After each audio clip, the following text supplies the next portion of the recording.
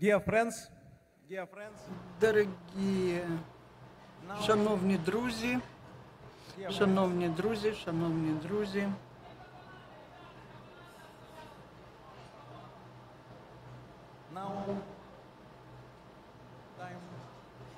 Тепер час мені представити нашого дуже спеціального гостя. Ви знаєте, так сталося, що цього року ми дивилися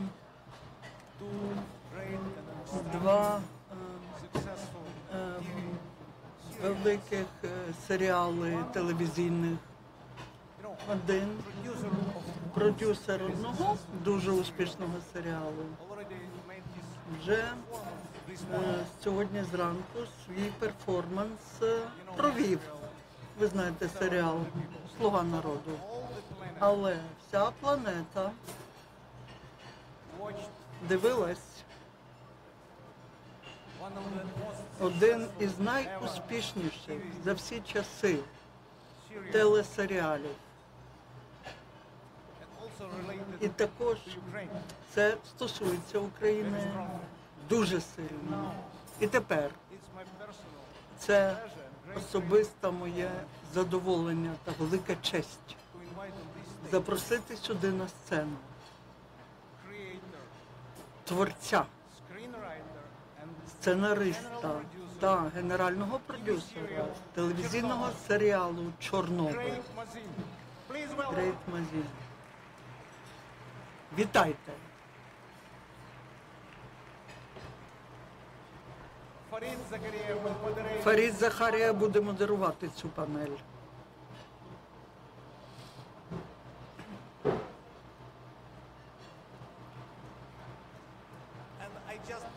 І я просто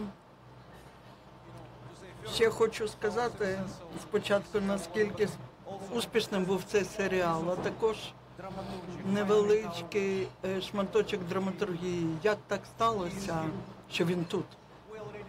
Ми вже домовились з е, Крейгом в е, липні, що він приїде. Для нього було дуже цікаво зустрітися з українцями, говорити з нашими гостями цієї конференції. Він чув про цю конференцію. Я був дуже е, я дуже пишався цим.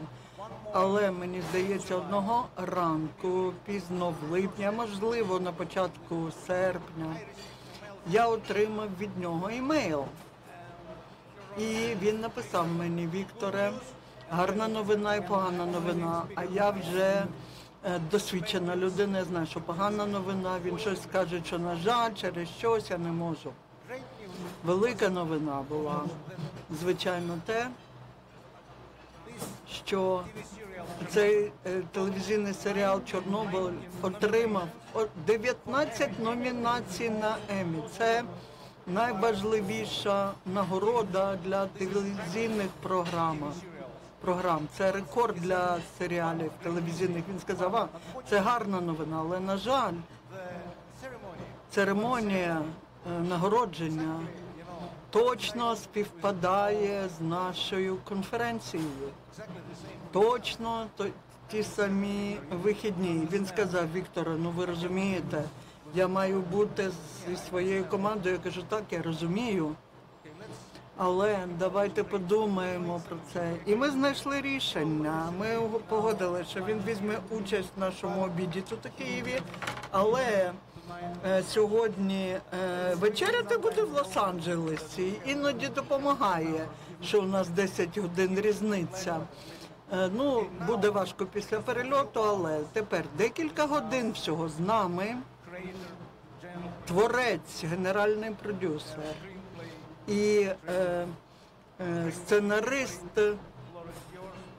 Вам слово. Вітайте, будь ласка, друзі.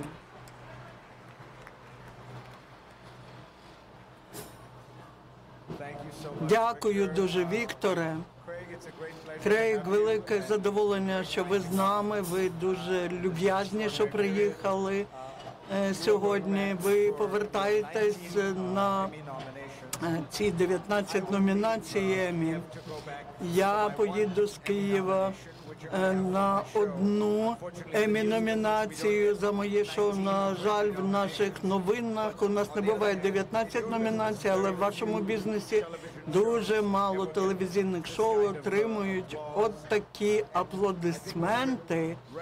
І я думаю, потрібно визнати, наскільки це не часто для шоу, яке є серйозним шоу, про надзвичайно серйозний момент в сучасній історії отримати от такі нагороди. Що це пояснює? Коли ви робили це шоу, чи думали ви, що воно може мати такий вплив, як має? Ні.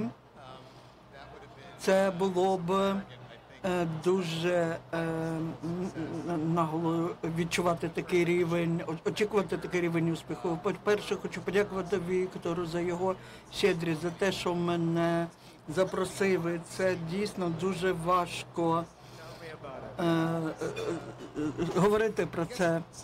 Я думаю, що успішні люди вони переконливі. Ні, коли ми е, зустрілися, робили Чорнобиль, наш намір був говорити з аудиторією, яка ми думали там буде.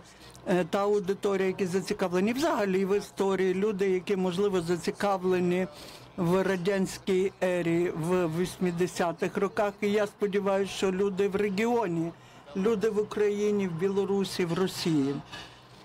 І те, що сталося, мені здається, е, багато людей е, побачили в цій історії те, що я бачив. І мені здається, це така колізія надзвичайна, абсолютно найгіршого, що можуть робити люди, і абсолютно найкращого, що люди можуть робити. Чорнобиль. І е, мене це просто вразило, як різні люди це інтерпретували. Але це одна із історій, яка відзеркалює наші е, людські умови. Ми самі бачимо себе. І тому я думаю, він став глобальним явищем не просто в США, або тут в Східній Європі, а в Індії, в Сполученому Королівстві. І ми надзвичайно вдячні за це. Яким чином ви зацікавились цим? Я думаю про вас, про людину, яка написала «Хенговер». Ті, хто не бачив, це зовсім інше кіно від Чорнобиля. Яким чином ви перейшли від «Хенговер» до е, Чорнобиля? Я не знаю. Я відповім ваше запитання, буду відповідати завжди. Я не знаю. Але знаєте, іноді, коли ви працюєте в комедії, люди думають, що є, е, що у вас нічого нема серйозного. Але я знаю, що люди, які працюють в комедії, вони більш серйозні. Набагато серйозніші, ніж ті, що працюють в драмі, тому що комедія дуже серйозна тема сама по собі.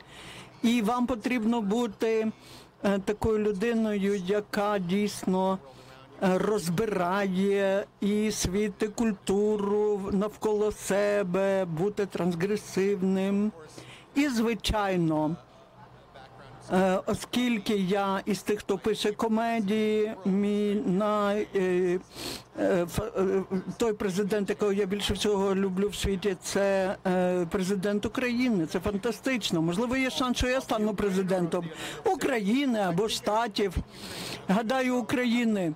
Я маю працювати над тим, щоб отримати громадянство і вивчити більше слів, ніж дякую. Але буде так. І ем, я завжди казав, що це цікаво. А я читаю, мені дуже цікаві ті речі, про які я читаю. І я читав про е, будівництво нового. Е, е, конфайменту над е, реактором 4 в Чорнобилі, і це було ще в 13-му році. І Е, Мені здалося, я знав, що е, Чорнобиль вибухнув, вибухнув, але я не знав, як, чому. І це дивно було, тому що якщо я тут будь-кого запитаю, яким чином е, потонув Титанік, вони всі знають. Але дуже мало людей знали, яким чином і чому е, вибухнув Чорнобиль. Я почав читати, і там було два факти, які звернули увагу на себе. Перше, те, що вони проводили це таке е, випробування на безпеку, і друге. Та людина, яка відповідала за е, це, е, він е, фактично покінчив життям за два дні до цієї аварії. Як писатель, як письменник, коли ви читаєте або чуєте таке, то ви кажете, ага, це історія, але я не був готовий до того, скільки там історій, скільки надзвичайних історій в цьому. І я відчув, що, начебто, я відкрив таку таємну війну, яку ніколи не показував ніхто в усьому жаху і в людській е, красі. Так воно почалося. Мені здається, ви використали слово таємний. І це в серці цього всього. Мені здається, що це в серці і сили цього серіалу. Те, що ви е, там показуєте, це те, що Радянський Союз намагався приховати, але історія про правду. е, Проти е, прозорості, правду проти і, і, і чесність. Е, Наскільки важко було отримати цю правду? Дуже важко отримувати будь-яку правду, тому що е, у неї природа така, що вона уникає нас, тому що в той момент, коли ми люди говоримо правду комусь іншому, то ми вже змінили її. Просто коли ми її промовляємо, коли вона у нас з'являється в наративі, ми це змінюємо. А в з випадком в випадку з Чорнобилю ви чуєте версії людей про правду, якісь факти е, чуєте. А ці багато фактів або загубили, або були заховані. Наприклад, не дуже гарно в радянські часи записували е, імена та долі тих людей, яких надіслали в цю зону, щоб там все вичистити. Хто вони? Що з ними трапилося? Тому ми покладалися, по-перше, на якісь особисті розповіді. І саме письменник, художник намагається визначити, хто здається правдивим, а хто можливо ні. І ми намагалися е, ну, менш драматичного шукати. Ми намагалися, щоб це була не така драматична історія. Тому що коли ви розказуєте історію таку, як Чорнобиль, то не потрібно бути занадто драматичним. Але, звичайно, були книги, які були написані бувшими ядерними фізиками радянськими. І такі особисті ем, якісь розповіді. Потім Світлана Олексєєвич з Білорусі, голоси з Чорнобиля, чудова книга, яка також є такою збіркою якихось особистих е, згадок людей, солдатів, громадян просто. І через отаку збірку десятків десятків джерел, документальних е, джерел, то ви отримуєте найправдивішу, найчеснішу версію правди. Звісно, ми повинні були якісь зміни привнести в те, але разом із серією ми і Е, Можу е, сказати, що тут є щось е, інше, воно відрізняється від правди. Ми про це казали. А для тих, хто дивився цей серіал, яка історія е, така, що вас зворушила більш за все? Можливо, е, для вас е, в Чорнобилі було щось таке, що вас зачепило найбільше. Так було. І е, були е, там Василій Гнатенко, пожежник, і йому було всього 20 е, е, і трошки більше. Він був членом пожежної охорони, яка там е, була, і цей був якраз е, один із тих, кого в ту ніч туди викликали. І йому сказали, що там ніякої е, радіації. Їм не сказали взагалі, що це пов'язано з реактором. Їм сказали, що там є пожежа на даху. А це для них було зрозуміло, тому що на даху е, була смола. Там не повинно було бути смоли, але Вам сказали радянська держава, що вам потрібно побудувати ядерний реактор на цю дату, і там має бути протипожежний дах, але також ми вам не даємо матеріали на це. Ми робимо вигляд, що ми вам не даємо. Ви робите вигляд, що ви отримали. Тому їм сказали, що там пожежа на даху, коли вони туди приїхали, вони зрозуміли, що це не пожежа на даху. Деякі із цих хлопців вони просто е, забули про захист від радіації. У когось не було навіть піджаків. Вони були просто в білих сорочках, і у когось не було навіть шоломів. І він був один, Василь був один із людей, який розумів, що там відбувається вночі. І він там був, і він е, гасив цю пожежу. І історія його дружини Людмили, вона дуже красива, дуже зворушлива. Що там з ним трапилося? Він помирає, як багато із тих людей. І це жахливо, жахлива смерть. І мені здається, що це найжорстокіша смерть, тому що ви е, вам стає краще перед тим, як стає гірше. Це от е, такий один із синдромів радіації. На початку ви дуже хворі, потім через день-два вам стає краще, а потім найгірше трапляється. І я не думаю, що будь-хто, і я називаю їх хлопці, тому що вони в основному хлопчики. Хтось із хлопчиків знав, що з ними трапилося. Вони не знали, що вони захворіли. Вони знали, що на радіація, але не розуміли, що це означає. Ядерна індустрія в радянському союзі була така збірка державних таємниць. Було дуже багато серйозних. ем, е, таких аварій найсерйозніша була маяк, і вони все одно це все, все приховували, всю інформацію. Люди не знали, що ядерний реактор він є небезпечним. Навіть коли вони там жили, навіть коли вони були пожежниками, вони не знали. І навіть коли я думаю про це, він не знав, чому це з ним таке стається. І мені здається, це найтака складніша частина, коли хтось страждає, не знає чому, не розуміє чому. І далі ми підходимо до ідеї, е, скрив, е, коли скривали правду. Е, Ви побачили щось цікаве в тому, як радянські офіційні е, представники мали весь час щось. е, при про щось не говорити і говорити неправди.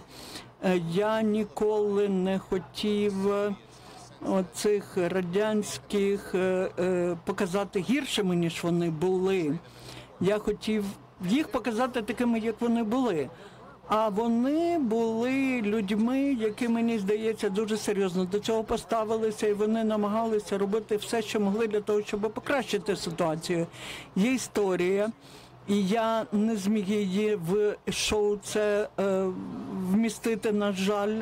Але голова партії в мінську.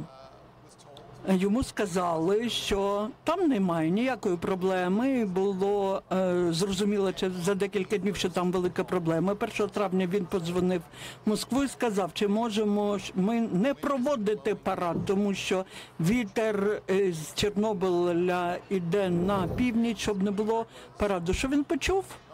Ні, ні, ні, має бути парад. Тому що ми не хочемо, щоб була хоч якісь ознаки, що щось не так. Мінську, але у Мінську він був такий наполегливий. Чи я можу його звинувачувати? Напевно, ні. Адже одна людина не могла зупинити парад. І він пройшов з ними, з тими дітьми під цим вітром.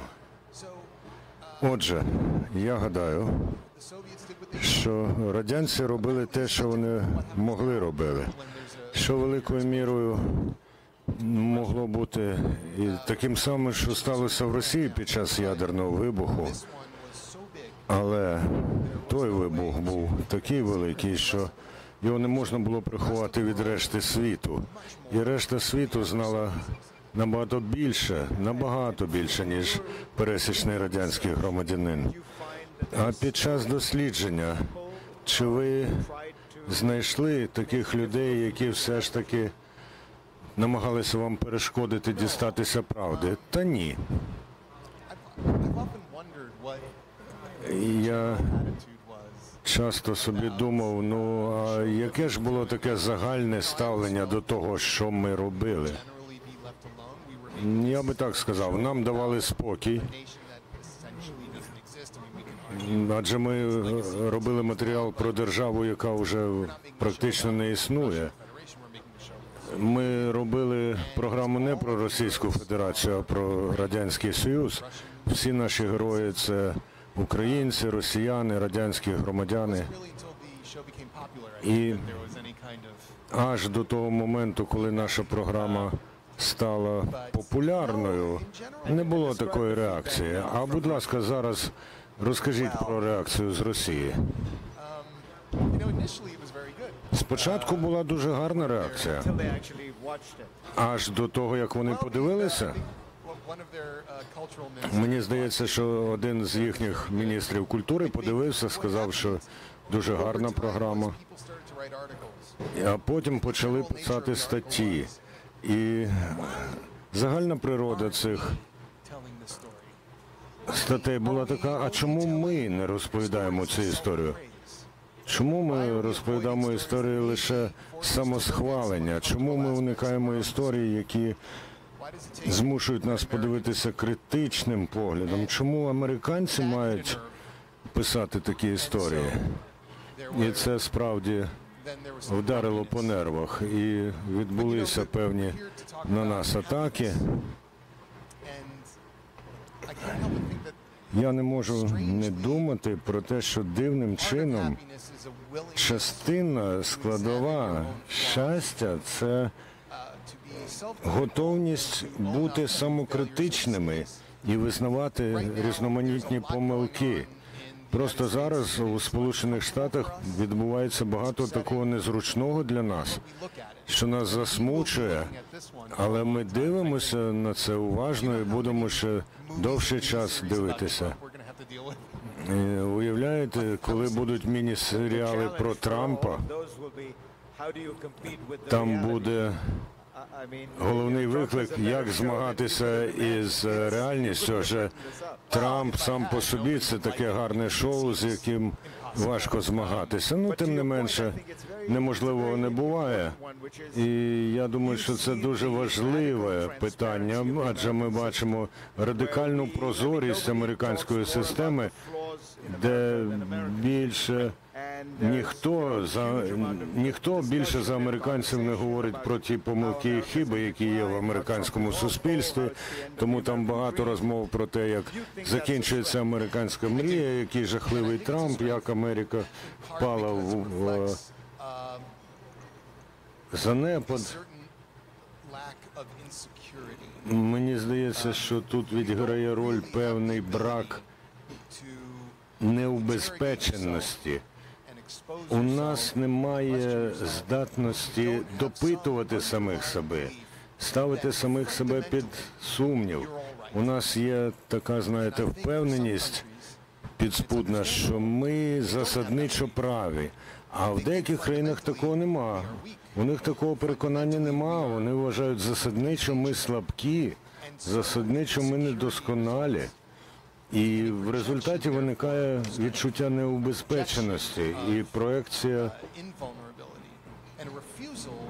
вразливості і невразливості, і відмови дивитися критично на себе. Адже якщо ви визнали, що зробили щось не так, то всі інші теж будуть казати, ви не маєте рації, і це з вами трапляється цілий час. Люди так не люблять, щоб до них ставилися. Я гадаю, що однією з ознак здорової, потужної держави є здатність придивлятися до себе і бути щасливими тоді, коли ніхто не хотів би, щоб ви були щасливими. sad people here so I appreciate that Та тут є кілька сумних людей. Я віддаю цьому належно. Це, до речі, гарно в'яз- пов'язується із моєю розмовою з Нілом Фергюсоном, котрий казав, що люди, які засновували Сполучені Штати вони дозволяли людям шукати щастя, якщо ви хотіли, і не шукати, якщо не хотіли. Себто давали свободу вибору. І це підхід іншого плану, іншого характеру. Коли ви зустрічаєте новини і факти, наукові свідчення, які вам не сподобаються, то західні політики, в тому числі американські, насамперед кажуть, це все фейкові новини. Насправді такого не відбуває. Як ви вважаєте, це є така небезпека, чи це схоже на те, що відбувалося в радянському союзі? Та це практично ідентично з тим, що було в радянському союзі. На самому початку серіалу Джеред Харрос там грає одного героя. Він каже, небезпека усіх цих усієї цієї брехні в тому, що не так це багато, не в тому, що це брехня, а в тому, що ми не зізнаємося, що це правда. І от у цьому трагедія і є на заході. У нас на заході відбувається у нас відбувається замішання. Якщо можна сховати правду і відступити у свій маленький куточок, то ви або розбиваєтесь на маленькі частини, або стаєте циніками. І можна бути скептичним, але не цинічним. Тому нам потрібно бути свідомими небезпеки наративів. Ніколи нам це просто так не минеться. Коли ви робите історію в новинах, ви маєте туди вставити нара- наратив. Не обов'язково його зрозуміють, але нам потрібно знати, як працює наратив. І я хочу бути оптимізмом. Проходячи через цей жахливий процес, ви зможете вийти з нього більш скептично налаштованим, розумнішим. Це насправді зовсім не е, нове. Свого часу Сполучені Штати в'язалися в війну, бо газети переконали всіх, що іспанці висадили в повітря військовий корабель. У нас а чи цей досвід зробив вас скептичі, скептичнішим, цинічнішим щодо урядів, скептичним? Я вважаю, що більшість людей, які хочуть піти до політики, починають із найкращими намірами. Я вважаю, що неможливо бути чисто гарним в будь-якому заході, тому що іноді вам доводиться дозволити одній людині померти, щоб врятувати п'ять людей. Це жахливе становище. Але і вам би цього не хотілося, але саме це може бути потрібно людям. Тому на загал я маю надії, але система, в яку потрапляють ці люди, будується довкола цих людей. Дуже хочеться цим людям казати, система намагатиметься вас зіпсувати. Політична система це пропонує людям можливість зіпсуватися для того, щоб досягти поступу. І це відбувається щоразу. Корупція, псування це отрута, яка входить до вашого організму. Я розумію компроміс. Корупція це ворог. І Який ваш наступний проект? Фукусіма? Е, всі кажуть Фукусіма. Так.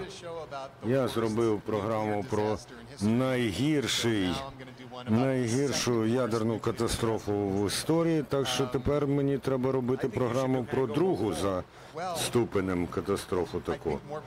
Ну, Um, гадаю, що ще більше людей її подивляться. Насправді є такий фільм Джокер, який велику велику премію нещодавно отримав. Не можу вам сказати точно, що воно буде, але наступна історія буде американська історія. з цілком іншого часового періоду, вона великою мірою буде схожа на Чорнобиль, але це про інший час, інше місце. Але вона все одно буде про сучасність. Тому що я хочу зрозуміти, що відбувається зараз, дивлячись на деякі моменти з нашого минулого, які, здається, не прямо пов'язані із тим, що відбулося. Ну, візьміть той самий Чорнобиль. Це просто неймовірна історія, і ми з неї багато чого можемо навчитися. І коли ви ведете мову про радянський союз, Дістати там правду це важко, тому що уряд придушує правду, тому що людей навчили бути мовчазними, тому що їм треба шукати спосіб сказати про це. А в Америці очевидно дістати правду можна зовсім в інший спосіб, тому що там часто проблема в тому, щоб е, люди заткнулися. Е, У всіх своя е, точка зору, у всіх своя історія, і в цій масі історії, які змагаються між собою. Як знайти правду? Коли мені, коли я робив Чорнобиль, я дуже сподівався, що люди в Україні його побачать і вподобають, і оцінять її. Тому що, звісно, це те, що сталося в цій країні. Ми дуже наполегливо працювали, щоб якомога краще подати там правдиві деталі, показати нашу повагу до того, що було. І ми отримали величезне задоволення від тієї реакції, яку отримали. Звісно, потрібний час для того, щоб зробити історію в Америці, фільм або програму в Америці про американську історію. Половина людей скажуть гура, а половина скажуть гірше не могло бути.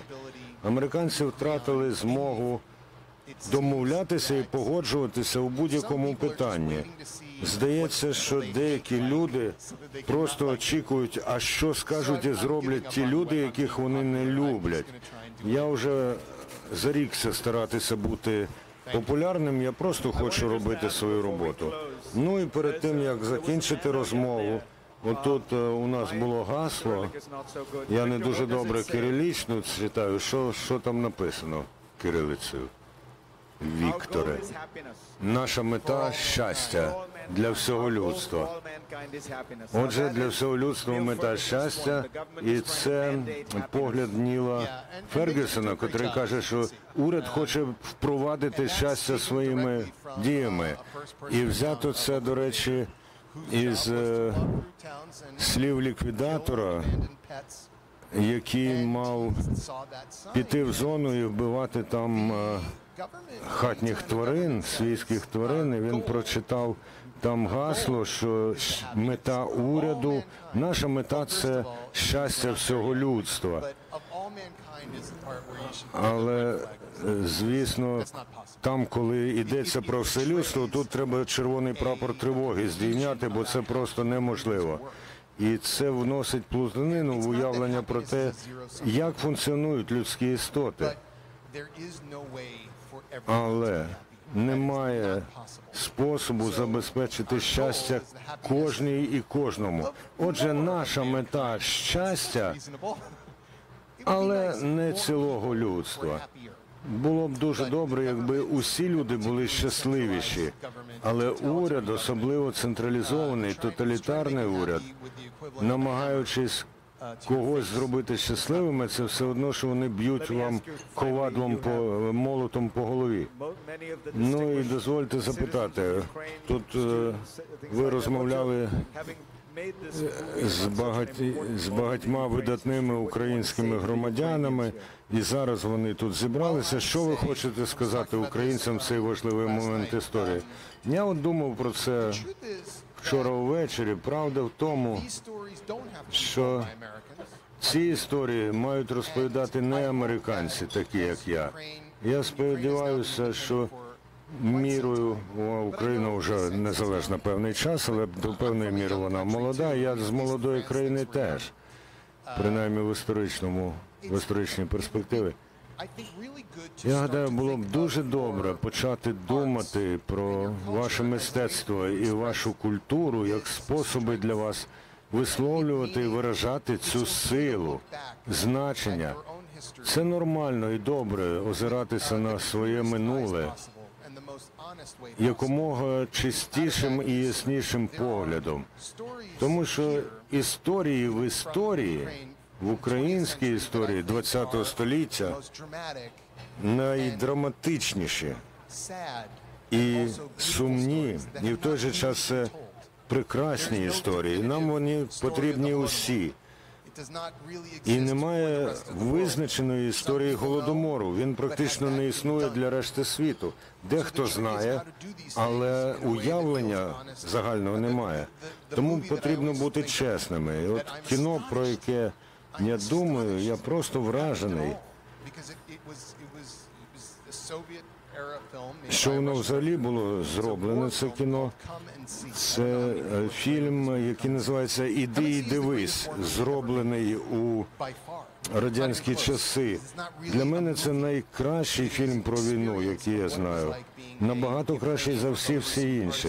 Воно про те, як бути українським або білоруським партизаном у Другій світовій війні під нацистською окупацією. І жахливий він, е, він лякає тим, що він дуже не схожий на військовий, на воєнний фільм, бо там дуже мало пострілів. Він про підлітків, хлопця і дівчину. Він правдивий, він чесний. І там немає остраху показати своїх громадян у вразливому світлі, коли вони програють війну. Це нормально. І я знаєте, я вмію лише робити фільми, робити телебачення і людям, які можуть підтримати виробництво таке в Україні. Так, то це ви, оце ви. Я вас закликаю, підтримуйте своїх кінематографісток і кінематографістів.